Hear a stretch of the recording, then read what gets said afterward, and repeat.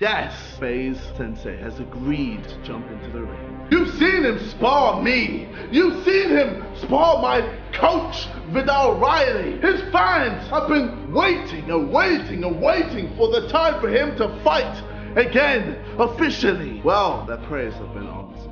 Yeah, I'm like, oh,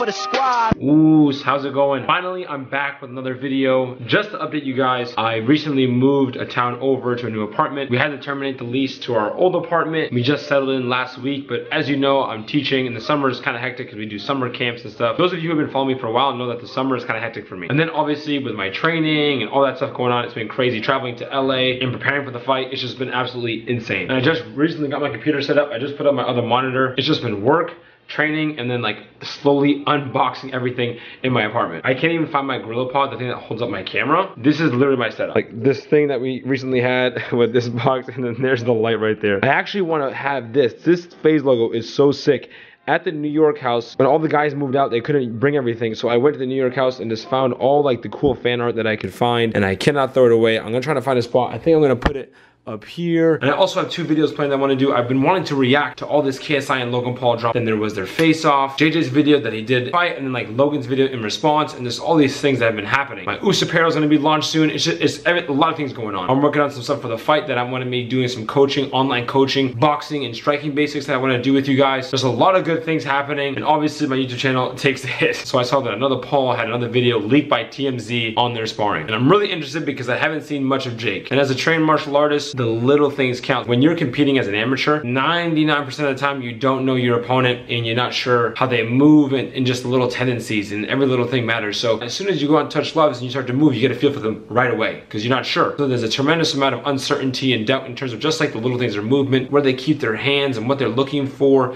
just like you know their cadence and their rhythm in fighting if you can get one little edge if you can make one little adjustment and it gives you a little bit more confidence and you don't hesitate for that one move or you recognize something and you're able to respond and react to it it does make a big difference. Or I should say it can make a big difference. Everything's potential. Anything can happen in a fight. The one with Logan wasn't shady or sketchy to me. I just thought that it was overblown. I thought obviously the clickbait title that TMZ did and the reaction to him brutalizing his opponent was a bit exaggerated. This one though has some pretty suspect things. When I saw Jake move and stuff, it's exactly what I imagined. Footwork is pretty good. He has good center of balance and stuff like that. Nothing crazy, but for someone who hasn't been training, someone who's new to boxing. However, there are some things that I want to point out that seemed a little shady to me.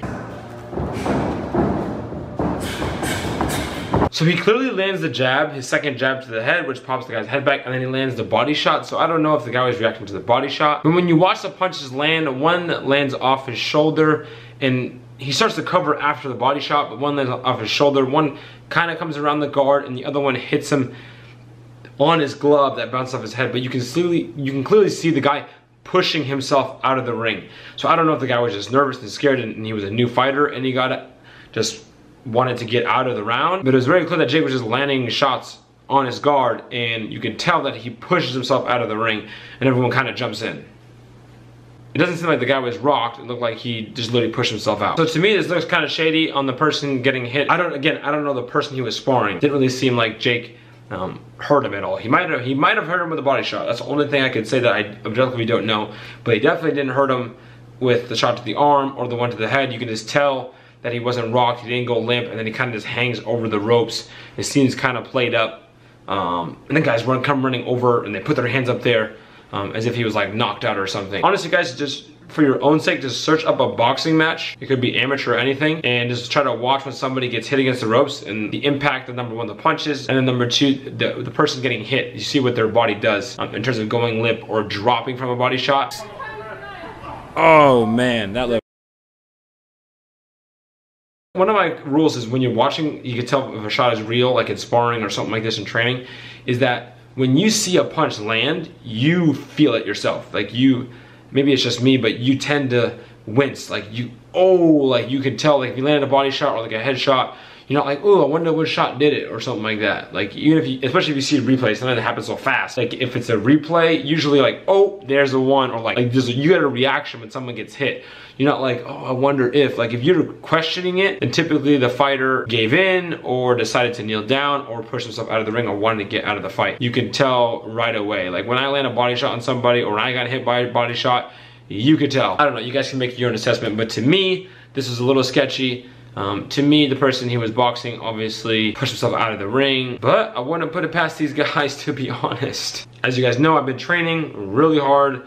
I, have been loving the boxing training. I just love training in general, but I like when I get to train for a specific sport because it kind of focused me and I it to isolate um, on the game and stuff like that. So I'm really enjoying working on the footwork, being on the jump rope, just punching, just working on the game. I'm excited. Oh yeah, and the other video that I have the footage, which I'm actually gonna edit tonight too, is I went to the beach and I hit the punch machine. I've been looking for one and I went to the beach and did it and let's just say I got the record for the one there. I broke the record twice. I did it without a glove and then with a glove. I just thought of something right now, but I think they should have a punch machine at the fight or somewhere where like all the guys maybe uh, in the UK when we get there and do like a little punch machine contest because that would be some sick content. And I like to see uh, who has the hardest punch ever out of everyone on the card. For all of you who think I am biased against Jake in this video, you're you're right. I am one who helped Deji as well um, on Team KSI, so clearly I'm against Jake in this case. But my opinion on the video is objective. If I saw that he hit somebody, I would just tell you. As you can tell, I don't really care to say whether he did or not. I'm just telling you exactly what I see and I'm giving you my honest feedback. So yes, leave a like for the video. I'm glad I'm back. Thank you guys for sticking around and you'll see some more stuff soon. Oos.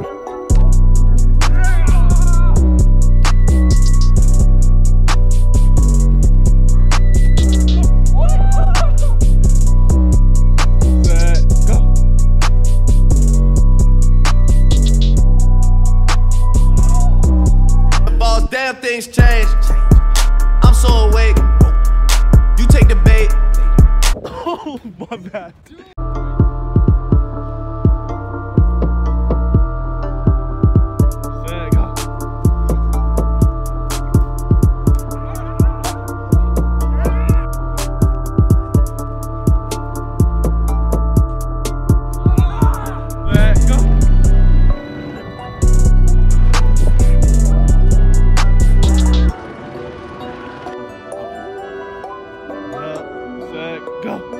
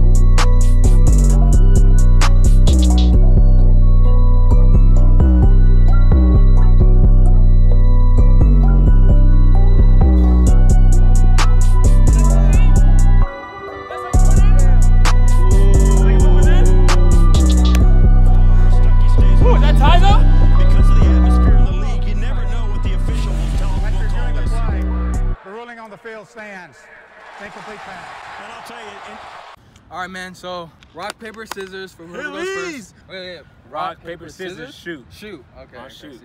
All right, ready? Ready? Rock, paper, scissors, shoot. What's that? A tie. That's paper? Yeah. Okay. So that was a scissors, man, or something. I don't know what that is. All Here we right, go, ready? Rock, paper, scissors, shoot. Let's Yeah, go! Okay. Let's go! All right, you ready? You ready? Alright, go.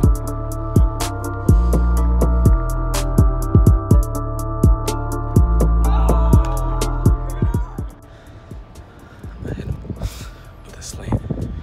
But you gotta lead me. Yep. I'm gonna try to I'm gonna try to hit the slant hard. Yep. And even if I have to dive. Yeah. yep. Alright, go.